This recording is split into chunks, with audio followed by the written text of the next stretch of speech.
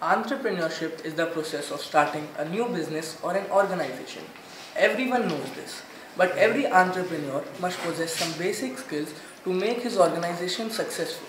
Though there are many skills, but the basic ones are business idea, planning your business, customer focus, communication, and most importantly, curiosity. Making a plan and success and so, doing it well is very necessary and but the plan should be realistic and time bound. A focus should be there on the ones with whom we are dealing and every customer should be an opportunity for us to do better. A focus should be there. A feedback of the customers is very necessary to make our business a successful one.